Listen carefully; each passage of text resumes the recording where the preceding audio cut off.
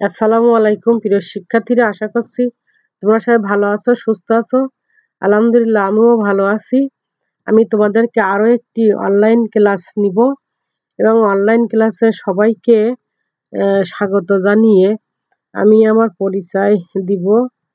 আমি মুসাম্মা শাহানারা পারবিন প্রভাষক DRM united ideal college Ratanpur, Kaliganj, Satkhira একাদয় দ্বাদশ শ্রেণির ব্যবসা সংগঠন ও ব্যবস্থাপনা প্রথম পত্র থেকে তোমাদেরকে আমি আজকে আরও একটি তো অনলাইন ক্লাস নেব এবং অনলাইন ক্লাস পাস তাইলে আমরা আজকে যে জিনিসটা শিখব, তার আগে তোমাদের আমি একটা ছবি দেখাই। এই ছবিগুলো দেখে তোমরা কি অনুধাবন করতে পারছ বা বুঝতে পারছ এটা কিসের ছবি? এখানে অনেকগুলো মালামাল আছে। এবং একজন ব্যক্তি বসে আছে এবং সামনে ক্রেতা বা ভোক্তা মালামাল দরদাম করছে তারা ক্রয় করার জন্য। একে অপরের সাথে কথাবার্তা বলছে, মালামাল নেওয়ার জন্য। এর থেকে তোমরা কি বুঝতে পারছ এটা কিসের ব্যবসা?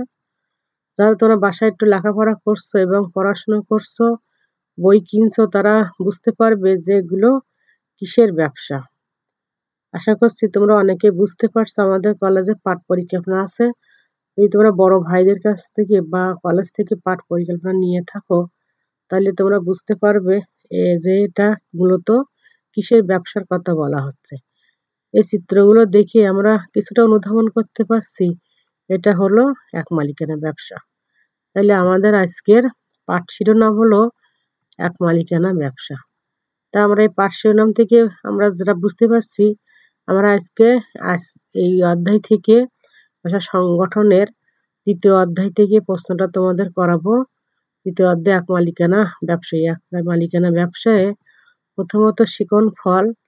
এই পাঠ শেষে আমরা যা শিখব সেগুলো হচ্ছে প্রথমত এক মালিকানা ব্যবসা সম্পর্কে আমরা জানতে পারব। এখানে দুইটা প্রশ্ন আছে। একটি হচ্ছে, এক মালিকানা ব্যবসা কি?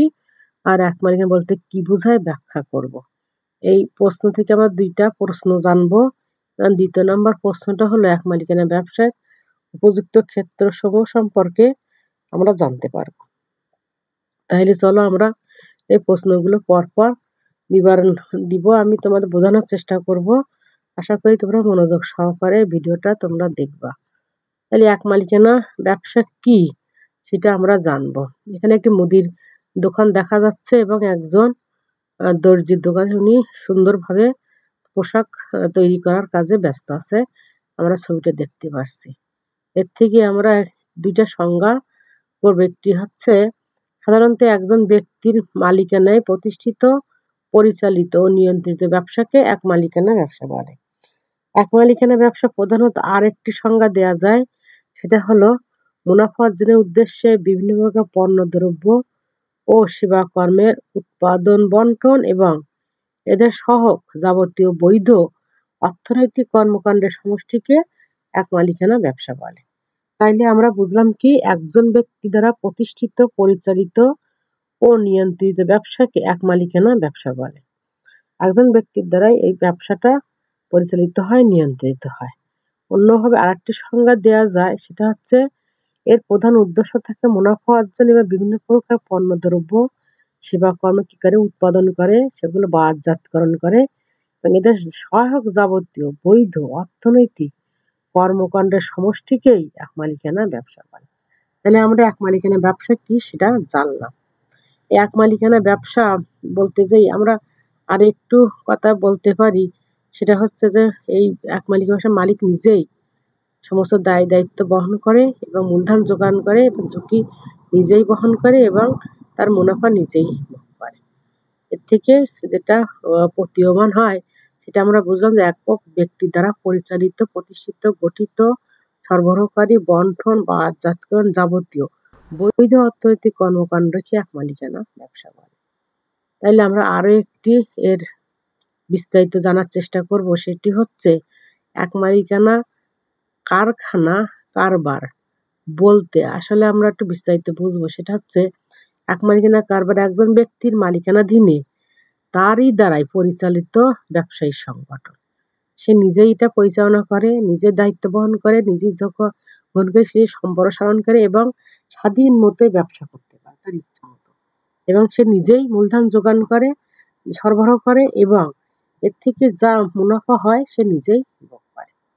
তাইলে আমরা এক মালিকানা কারবারের এই সুবিধাটুকু সে নিজে ভোগ এবং আরেকটি বিশেষায়িত কথা, সেটা হচ্ছে নিজে নিজেই সিদ্ধান্ত গ্রহণ করে এবং একটা স্বাধীন ব্যবসা। এই ব্যবসাটা একটি সনাতন কারবার ব্যবস্থা বলা অতি অতি প্রাচীনকাল থেকে এই ব্যবসাটা হয়ে আসছে। প্রাচীনকালে বিশেষত মিশর ইতালি গ্রিসে এক মালিকানা কারবারের ব্যাপক প্রচলন ছিল।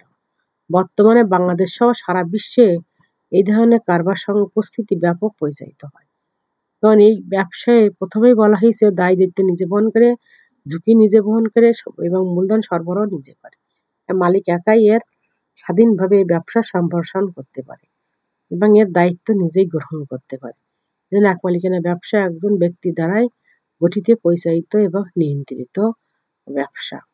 এটা আমাদের দেশে পথে, মোড়ে, গ্রামে, গঞ্জে, বাজারের পাশে, রাস্তার পাশে, চৌরাস্তার মোড়ে এই ব্যবসাগুলো দেখা যায়। এই ব্যবসাগুলো করতে আইনের কোনো ঝামেলা পাওয়া হয় না। কিন্তু সিটি কর্পোরেশন এবং পৌর এলাকায় ব্যবসাগুলো করতে গেলে কিছুটা আইনি ট্রেড মার্ক লাগে। সেগুলো নিয়ে এই ব্যবসাগুলো স্বাধীনভাবে তারা করতে পারে। তাহলে এক মালিকানা ব্যবসা মূলত কি? আমরা সেগুলো বুঝলাম এবং জানার চেষ্টা করলাম।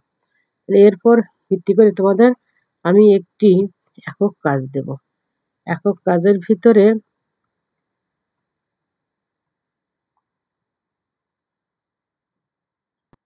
দুইটা প্রশ্ন আছে।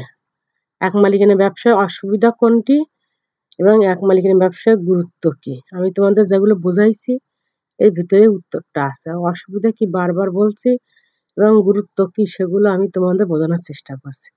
আশা করছি তোমরা এগুলো পারবে। এর দ্বিতীয় নম্বর প্রশ্ন, এক মালিকানা উপযুক্ত ক্ষেত্র। এই ক্ষেত্রগুলো কি কি আছে সেগুলো আমরা জানব এবং এগুলো আমি তোমাদের বিবরণ দেব পরপর। তোমরা সেগুলো একটু বোঝার চেষ্টা করবে, আশা করছি। প্রথমত আছে স্বল্প পুঁজির ব্যবসা, কম ঝুঁকির ব্যবসা, সহায়ক প্রতিষ্ঠান, প্রত্যক্ষ সেবামূলক ব্যবসা, পচনশীল দ্রব্যের ব্যবসা, পরিবর্তনশীল চাহিদার পণ্যের ব্যবসা, সীমিত চাহিদার পণ্য, খুচরা পণ্য, গোপনীয়তা। আরেকটি প্রধান জিনিস হচ্ছে গোপনীয়তা, নিজে নিজেই রক্ষা করে এবং এক মালিকানা ব্যবসার ক্ষেত্রে গোপনীয়তা রক্ষা করা খুব দরকার হয়ে পড়ে এবং মৌসুমি ব্যবসা কুটির শিল্প, ব্যক্তিগত নৈপুণ্যতা। তাহলে এক মালিকানা ব্যবসা উপযুক্ত ক্ষেত, খাত কোনগুলো আমরা সেগুলো পরপর চলো আমরা বিবরণ দিই এবং তোমরা সেগুলো আশা করছি ভিডিওটা দেখবে এবং বোঝার চেষ্টা করবে। প্রথমত স্বল্প পুঁজির ব্যবসা, যে সকল ব্যবসা কম পুঁজিতে গঠন পরিচালনা করা যায় সেক্ষেত্রে আমরা বিশেষত এক মালিকানা ব্যবসা উপযুক্ত বলে মনে করে। এক্ষেত্রে পুঁজি বা মূলধন কম লাগে এবং মালিক নিজেই এই মূলধনের যোগান দেয় বা সরবরাহ করে। এবং মূলধনের সরবরাহ করার পরে দায় দায়িত্ব একজন ব্যক্তি নিজে নিজে দায়িত্ব বহন করে এবং এই পুঁজির মাধ্যমে সে মুনাফা অর্জন করার চেষ্টা করে, নিজের বুদ্ধি খাটিয়ে। এক্ষেত্রে এক মালিকানা ব্যবসা উপযুক্ত বলে আমরা মনে করি। এখানে পুঁজি কম লাগে এবং নিজে নিজেই এই পুঁজি বা এই মূলধন সরবরাহ করতে থাকে। এখানে আরেকটি গুরুত্বপূর্ণ খাদ হলো কম ঝুঁকির ব্যবসা। এক্ষেত্রে যেহেতু পুঁজি কম লাগে, এখানে ঝুঁকি কম। এইসব ক্ষেত্রে এক মালিকানায় সর্বোত্তম যেমন কমিশন ব্যবসা। পণ্যদ্রব্য সে নিয়ে আসে এবং কমিশনের ভিত্তিতে বিক্রি করে, তার থেকে সে লাভবান হয়ে মুনাফা অর্জন করে। তাহলে আমরা দেখলাম কি স্বল্প পুঁজির ব্যবসা ক্ষেত্রে এক মালিকানা ব্যবসায় উপযুক্ত। ঝুঁকি যেখানে কম, সেখানে এক মালিকানা ব্যবসার শ্রেষ্ঠ আমরা মনে করি। অংশীদারি যৌথ মূলধনী রাষ্ট্রীয় ব্যবসার ক্ষেত্রে ওখানে ঝুঁকি বেশি, মূলধন বেশি এবং ওখানে কর্মচারী কর্মকর্তা বেশি থাকে এবং আইনি ঝামেলা থাকে। সেক্ষেত্রে এক মালিকানা ব্যবসা সর্বোত্তম। আরও একটি হচ্ছে সহায়ক প্রতিষ্ঠান। গৃহজাতন প্রতিষ্ঠান পরিচালনার ক্ষেত্রে অনেক সময় ওর সহায়ক কিছু ছোট ছোট প্রতিষ্ঠানের প্রয়োজন হয়। সেক্ষেত্রে আমরা দেখতে পারি মেরামতকারী প্রতিষ্ঠান, প্রিন্টিং, ক্ষুদ্র সরবরাহকারী প্রতিষ্ঠান ইত্যাদি। এক্ষেত্রে এক মালিকানা ব্যবসা অধিক উপযুক্ত বলে আমরা মনে করি। বৃহত্তর প্রতিষ্ঠান পরিচালনার ক্ষেত্রে তাদের ছোট ছোট কাজ করার জন্য ছোট ছোট কিছু প্রতিষ্ঠানের প্রয়োজন হয় আশপাশে থাকার প্রয়োজন পড়ে। সেক্ষেত্রে মেরামতকারী, প্রিন্টিং, ক্ষুদ্র সরবরাহকারী প্রতিষ্ঠানের ভিতরে পরিচালনা করতে গেলে এক মালিকানা ব্যবসার বিকল্প আর কোনো কিছু চিন্তা করা যায় না। তাইলে আমরা আরও একটি পয়েন্ট দেখব, সেটি হচ্ছে প্রত্যক্ষ সেবা। এই প্রত্যক্ষ সেবা গ্রাহক সরাসরি ভোক্তা বা ক্রেতার সে ক্ষেত্রে সেবা দিয়ে থাকে। সফলকর হওয়ার ক্ষেত্রে যে ব্যবসাটা প্রয়োজন, সেটা হচ্ছে এক মালিকানা ব্যবসা। এক এখন উপযুক্ত ক্ষেত্র আরও একটি হচ্ছে এক মালিকানা ব্যবসা। এখানে আমরা দেখি সেগুলো হচ্ছে লন্ডি বা সেলুন। এগুলো সরাসরি ভোক্তার সেবা দিয়ে থাকে এবং ভোক্তা, ক্রেতা সবাই উপকৃত হয়। এবং এখানে তারা লাভবান এবং সফল কাম হয়। এখানে আমরা তাহলে পরপর চারটি পয়েন্ট দেখলাম।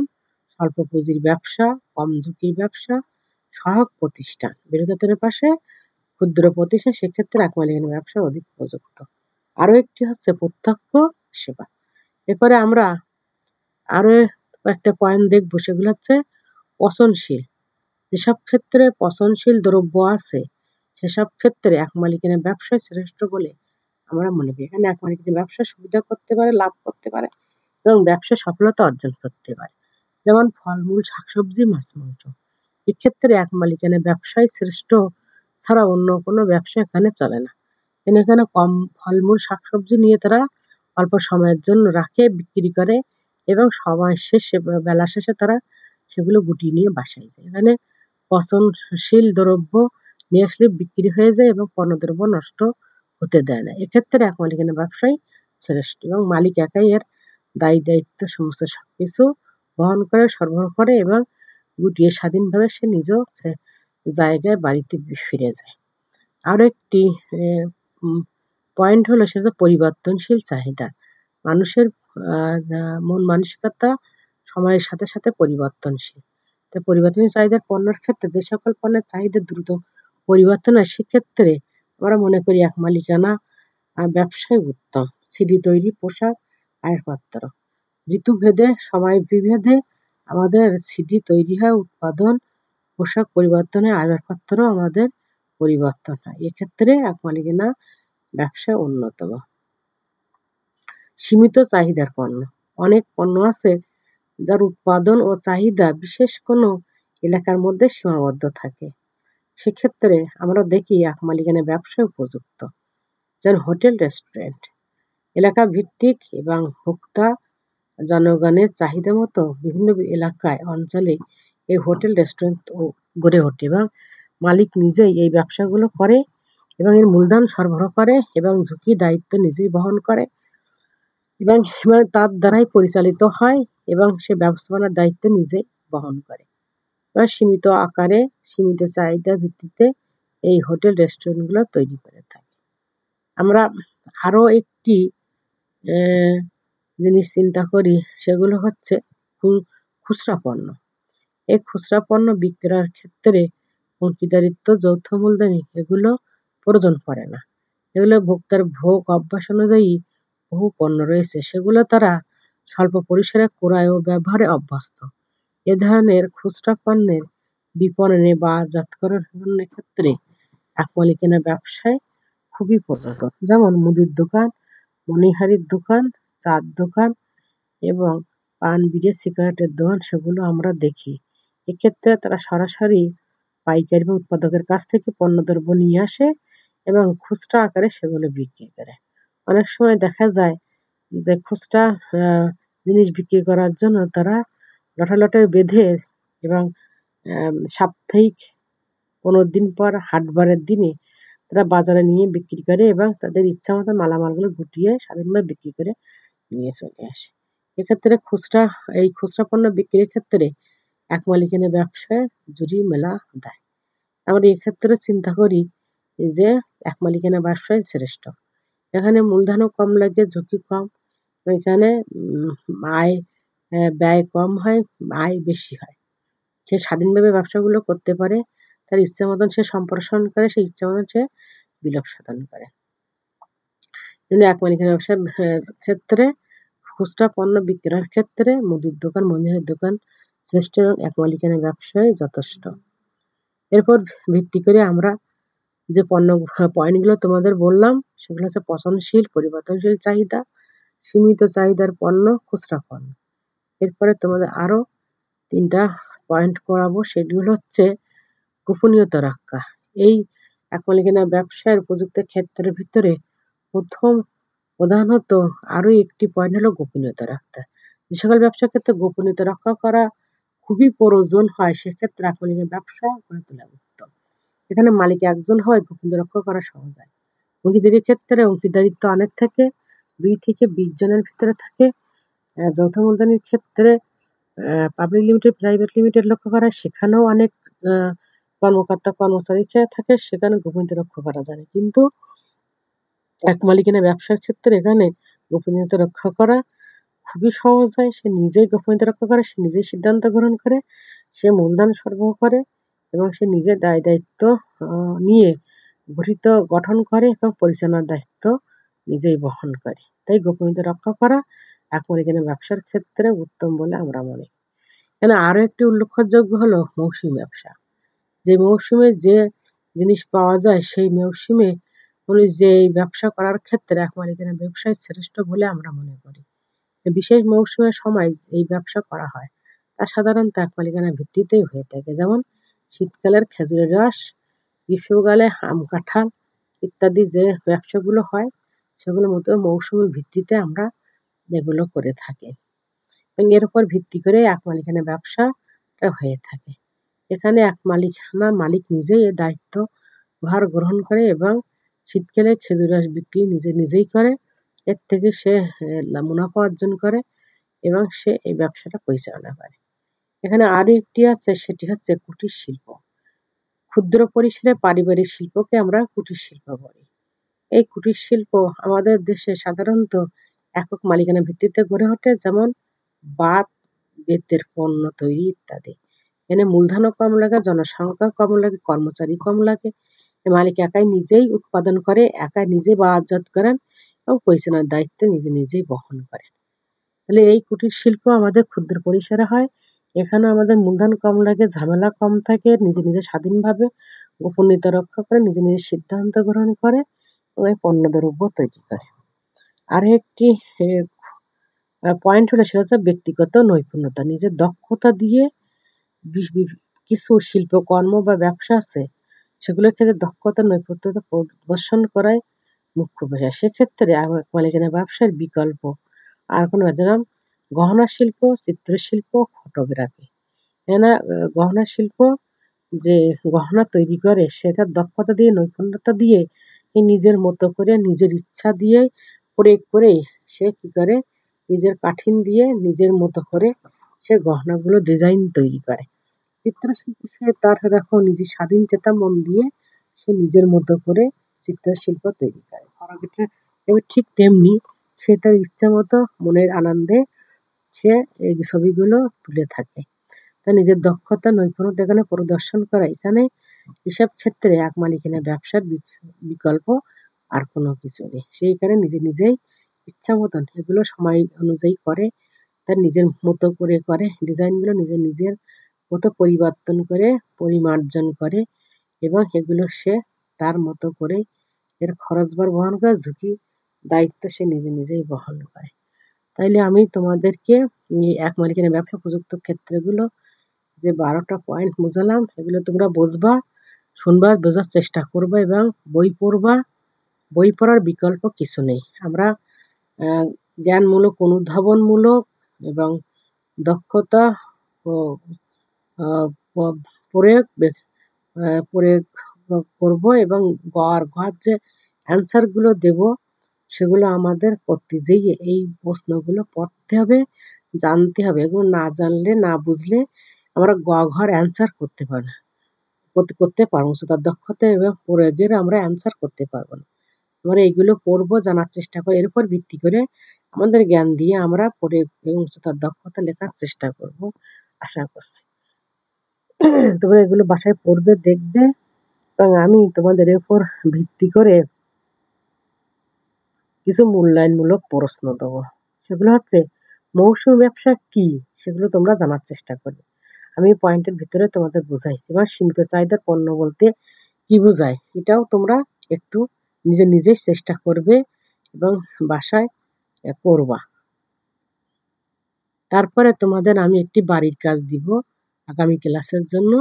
সেটি হচ্ছে, তুমি যদি এক মালিকানা ব্যবসা গড়ে তুলতে চাও তবে তা গঠনের জন্য তুমি কি কি পদক্ষেপ নেবে সেগুলো নিজে নিজেই তৈরি করবা করবা, পড়ার চেষ্টা করবা। আমাদের খুব তাড়াতাড়ি স্কুল, কলেজ খুলে দেবে। একে অপরের সাথে সবাইকে আমাদের দেখা হবে। এবং আমরা ক্লাস নেব, তোমাদের পড়া দিব, নিব, পরীক্ষা নিব সাপ্তাহিক এবং মাসিক। যেভাবে আমরা কলেজে ক্লাস নিতাম, পরীক্ষা নিতাম, সেগুলো আমরা একে অপরের সাথে পরিচিত হব, পড়াশুনো করব। আমাদের বর্তমান সময়টা খুবই ভালো যাচ্ছে না আমাদের। মাননীয় প্রধানমন্ত্রী আমাদের স্কুল কলেজ খুলে দেওয়ার চিন্তা করছে এবং করোনা কিছুটা সময় এখন ভালো যাচ্ছে। এর উপর ভিত্তি করে আমরা আশা করছি আমরা আবার সবাই ক্লাসে ফিরবো। এবং আমার একে অপরের সাথে আমাদের আবার দেখা হবে। এই বলে আমি তোমাদের ক্লাস অনলাইন ক্লাস এখানে শেষ করছি এবং ভিডিও তোমরা দেখব আশা করছি। সবাই ভালো থাকো, সুস্থ থাকো। এই আশাবাদ ব্যক্ত করে সবাইকে ধন্যবাদ। ভালো থাকো, সুস্থ থাকো।